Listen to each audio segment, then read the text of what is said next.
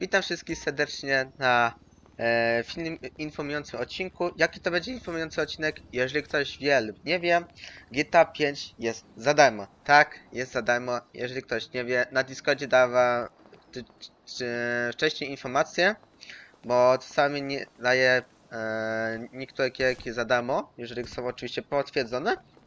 I została się dzisiaj oficjalna potwierdzona informacja, że GTA 5 jest za darmo.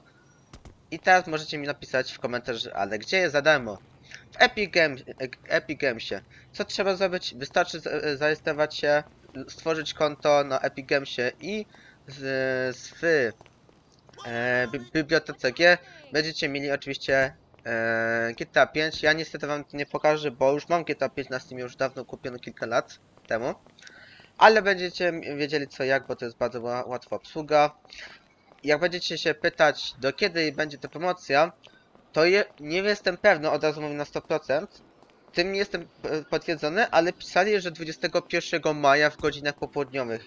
Jeżeli będzie 21 maja w godzinach popołudniowych, wtedy kończy się promocja. Więc kto jeszcze nie ma GTA 5, zapraszam serdecznie do skorzystania, no bo jak to się mówi, łatwa stówka dwie stówki za darmo.